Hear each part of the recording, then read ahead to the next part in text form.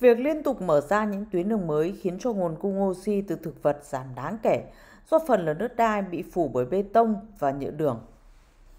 Việc công nghiệp hóa quá mức trên trái đất khiến cho môi trường, không khí, đất và nước bị ô nhiễm.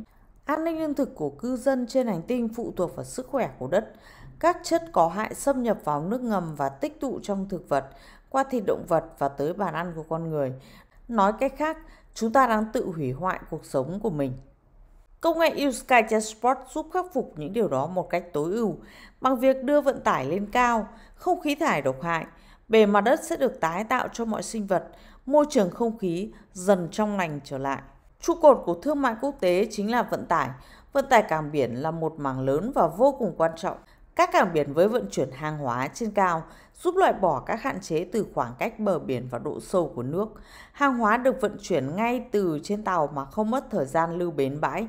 Usky Transport tối ưu hóa vận tải, tiết kiệm thời gian, tiền bạc, tăng sự lưu thông hàng hóa, giúp thương mại quốc tế phát triển nhanh chóng. Trở lên hữu ích với thế giới là cách duy nhất để hạnh phúc. Hans Christian Andersen